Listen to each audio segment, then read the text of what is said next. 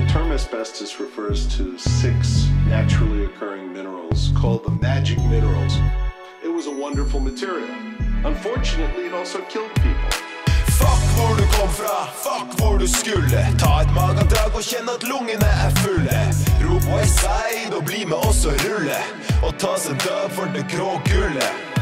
Uantennelig, giftig og vemmelig. Du vet vi baser opp, det er ikke hemmelig. Hold kjeft og få opp øra, og se disse breiale kæra. Bruker rambukk på døra og står og bruser med fjæra. Men det er ingen som snakker om noen glødende tunger. Kun noen nasty motherfuckers med noen fucka opp lunger. Som puster inn støvet mens vi graver i møkk. For du må ha et badass image, skal du tjene en bøk. Den negative skitten er ikke rykter.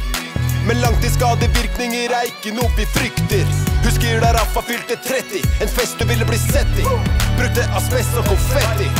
Så fuck haterne og motherfuck fiffen. 14. mars har jeg asbest oppå biffen.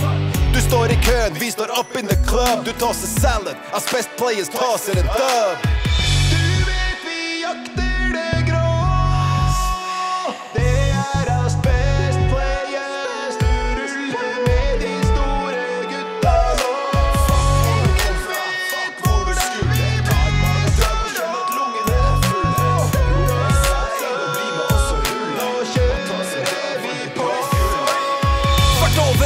Vi trenger ingen turchips. Brutt opp flere safer enn du har brukt q-tips. Og vil du ha et lurtips og ikke bli en stitch, folk vi lukker dine luslips lips. Putter kroppen din i bagga på en lada. Graver ned kadaveret, men lukter nada. For disse motherfuckerne er løse løsemiddelskada. Fylle hølet med asbest og rope maga. Vi snakker make asbest great again. 99 Noe i Torino da jeg ba dem drysse litt av gullet på min cappuccino. For de fleste bader får de det på lanken sin. Bitch, jeg har et hvelv med asbest oppi banken min. Fuck vin, jeg bestiller som en boss. Una cerveza og dos asbestos. Du vet vi jakter